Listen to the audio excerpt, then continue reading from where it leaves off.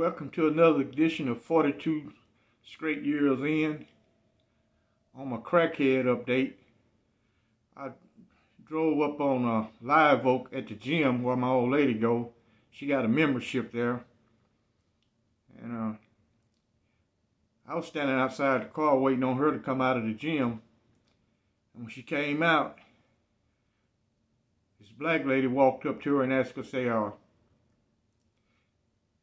can I use your phone? Now she has a iPhone 12 Max Pro. I think I think it costs about 1400 bucks. And she handed she got to unlock it in order for the lady to use it. So she unlocked the phone and handed it to her. And the lady looked at the phone and said, Man, I've been looking everywhere for my phone. Man, I knew I was going to find my phone. My old lady looked at her. She said, where did you get this phone from? My old lady, she she practiced uh, Muay Thai. That's uh, martial arts in Thailand. Man, she kicked her upside her head and she caught her on the way down. She broke her jaw. And she we parked at a 7-Eleven, so they got cameras everywhere. Ain't needed me and her trying to leave the scene because they'll get my license plate and detectives will be at my house in, in one hour. And uh, she was trying to talk, but her, but her jaw is broke. She was trying to say uh, I was just playing. Now she was thinking Cause my old lady is white, that she gonna just dry take her phone. They got a policy, a lot of the youngsters, if you got an expensive phone, they'll ask, they request to use your phone when you unlock it, and you hand it to them, they'll take out running with your phone. I've seen them do that uh, in the West End. But uh, we stayed there until the police came because she had to go to, they call EMS and the cops talked to her. And I, and I pointed out, well, that camera's is right there. You can go look at the camera and see exactly what happened. And the people in the gym, they looking at the whole incident, so they came out and say, uh, we didn't actually hear what was being said, but she handed her a phone. And uh, she probably didn't want to give it back to her. And uh, she got assaulted. And she was just thinking because she was white, she was going to dry, take her phone from her.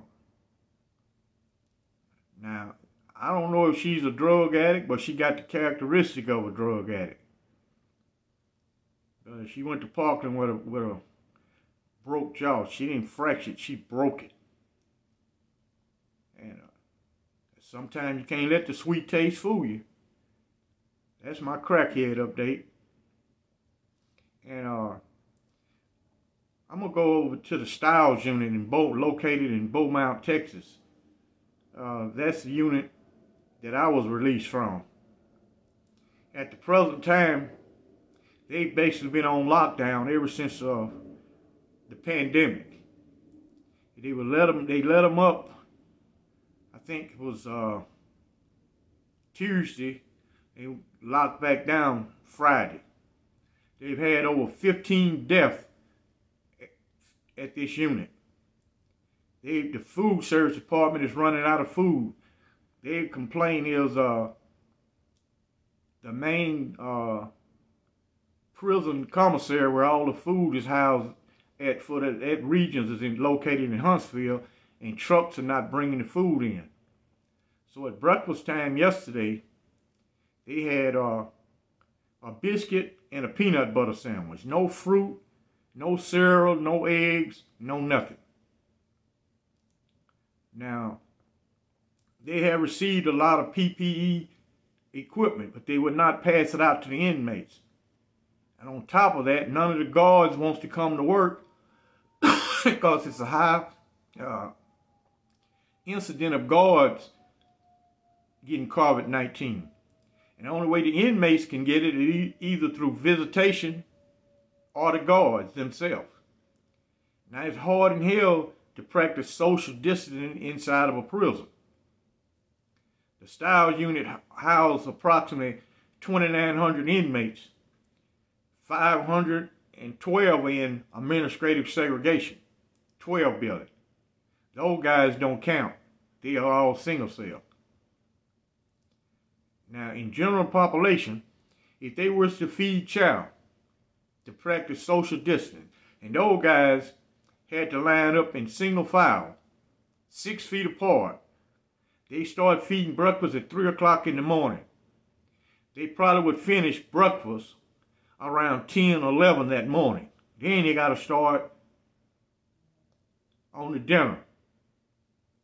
So it would take all day and until the next day just to feed uh, a normal child, which Texas prisons feed uh, three times a day.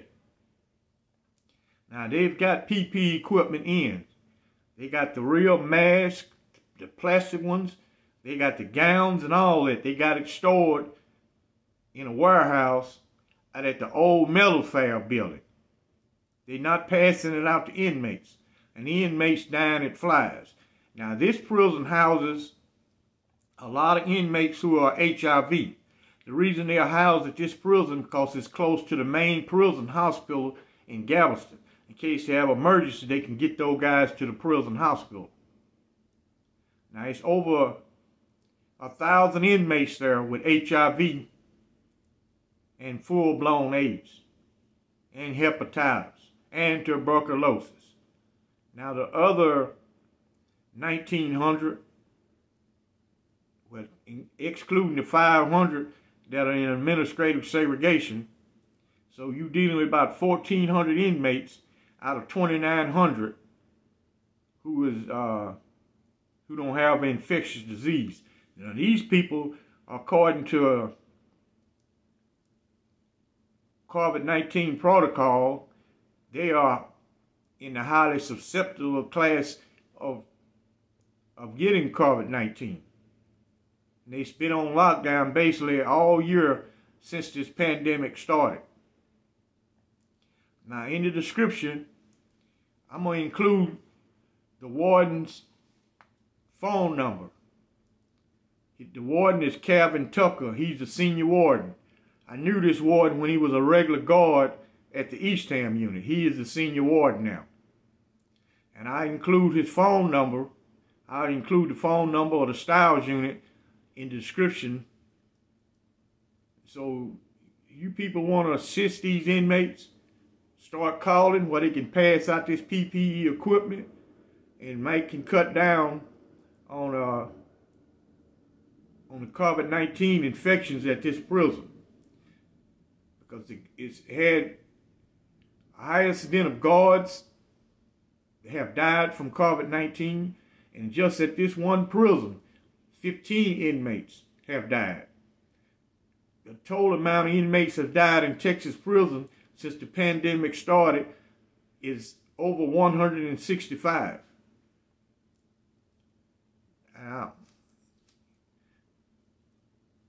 I had a subscriber, Tim K. He uh, made a comment. Is what are some of the things we as society could or should be doing to help our fellow citizens when they are released? Number one, the main pro the main uh,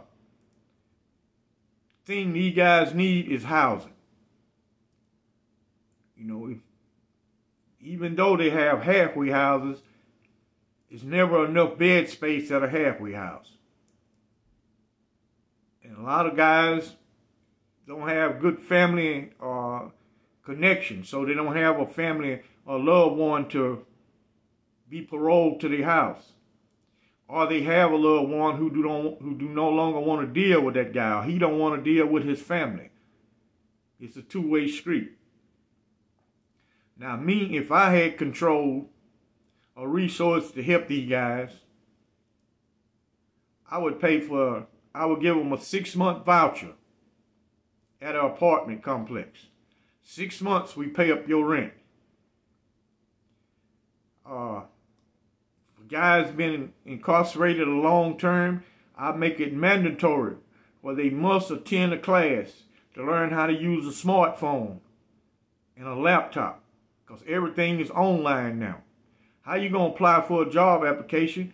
I apply for a job when you got to complete the application online. Very few companies have paper applications. You must do it online. You can go there to, to get a job, they're going to tell you do it online. Some of them have a computer right there for you to do it in the HR. But if you don't know how to use a computer, they not they're gonna think you from another planet. You don't know how to log on a computer when they got kids know how to log on a computer. And here's a grown man don't even know the first thing about a computer. I would make that mandatory. Uh, I would give a guy a stipend every month. X amount of dollars. I can't right off the top of my head come up with a dollar amount, but I would give you six months rent free. No bills paid. Everything is provided for. Just to reduce the recidivism rate and possibly reduce crime. Because if you don't have food, you already is a street dude. When you come out of prison, you're not afraid no more. You definitely not afraid. You're not afraid of law enforcement. You're not afraid of no jail. You know exactly what's going to happen. You know the routine. So you're not afraid. You can take a passive guy and put him inside of a maximum, maximum security institution and turn him into a mass murderer. It's easy to do. Because he'll become desensitized to violence. He's going to be around some tough guys. Or you can put a fake gangster in there. Everybody's a gangster until they run into a real gangster and you find out you're not gangster at all. All the things you think about, this person will actually do and have did it in the past. It's hard the first time. It's easy the second time. Uh, I would I would lay out a uh, I would I would lay out a pathway where these guys can actually make it, so you won't have no excuses. So if you fail, it all will be on you. I would give a guy a six month head start, give him a stipend every month. Naturally, he'll qualify for food stamp because uh, they've changed the law where if you're a drug offender, now you can get food stamp. At one time, if you had a drug conviction, you was exempt from food stamps. But if so many people got drug convictions till they changed that you can get food stamps with a drug conviction. And uh, I would I would lay it out where this guy can actually make it. It'd be all up to him. You got to put some effort into it if you want to stay outside. You can't complain. Here, prison got rules. You made it through that. You can make it through this. Now, out here is more variables than inside of a prison. Prison is not necessary more dangerous than outside. Dallas is a dangerous city. The Stiles unit is way safer than Dallas. I guarantee you that. You're not going to get to have a problem in Stiles unless you bring that problem on yourself. Everybody know what the inmate law is. Guy's going to explain to you what's going on. So when you violate that law, whatever consequences come with that, you brought that on yourself. Where out here, just like the incident with my old lady this morning, this lady just came from a hard workout. Get in the car, we're going to drive home. About five blocks away. She ain't looking for no problem. Here a lady is try to rob her for a phone. And she got uh, a royal beatdown in the process. Out here is way more dangerous. You never know when you pull up to a store or you go to get your car in the parking lot, here's some young clown want to carjack you. You never know when that's going to happen. Yeah, also at a 7-Eleven here in Dallas, two young guys tried to rob it when they, they had some young girls with them. They killed a store owner, but he killed one of those guys with a knife. He stabbed him up with a knife. He died at, at the hospital. And they arrested a 17-year-old and charged him with capital murder. And I think they're looking for the females that were involved. Total ignorant. You ain't going to get no money out of no 7-Eleven. Fast as they get 50 or 60 dollars, they immediately put it in the safe. You're not getting it in. They'll tell you the safe is time locked. We can't open it. So what you gonna get out of there? Some cigarettes, uh, some pizza, some beer. You ain't gonna get no money. You just receive the death penalty or life without parole for a petty crime. And you end up killing the guy. When you kill him, you actually kill yourself right along with it. Uh, yesterday, some people were complaining, some of my subscribers, about they didn't see the whole video. I uploaded the whole video. It was 17 minutes and 25 seconds long. I went back and looked at the video. It was all uploaded. I don't know what happened during the uploading process, but a few subscriber was complaining. Also, my old lady accidentally said the video was for kids. So when it's for kids, they turn off the comment section. That was not none of me. I do not turn off comments. I do not delete comments. And I've got a moderator now. If you see your comment uh, being deleted, it's the moderator. I do not delete comments. If it's ignorant, I just don't respond to it. Uh, uh, as I said earlier, if you want to assist the inmates at the style unit, uh, the telephone number for the prison will be located in the description, in the description box. Call that prison and uh, and ask the warden what he's going to do about all that PPE equipment he got. He's not passing it out to inmates. They got cloth masks that were made in the laundry. Come on, man. They got the real face shields that these guys can use, but they won't pass them out to the inmates. Inmates know what came in on that truck, because who will unload the truck? When all those 18-wheelers come in, inmates unload it. And naturally, curiosity will kill the cat. They're going to sneak and open one of those boxes because they're looking for something to steal. And they're going to see what's inside of it. If it's valuable stuff, they're going to try to steal it. So they know what's inside of those boxes. Now, why you got it stored uh, in the warehouse out at Fab, I do not know. Now, Warden uh, Tucker is a pretty decent guy. Like I said, I know him when he was a regular guard. He was a pretty decent guy then. So I imagine he's a decent warden. You know, TDC do not like adverse publicity. They do not like nothing to go against them in the media. They try to keep everything in-house. But uh, and assist these guys out with a couple telephone calls, and it will be appreciated. Uh, y'all keep your shanks ready. Watch out for these crackheads want to use your phone trying to snatch it and run. You might have to do one of them fools. Like and subscribe.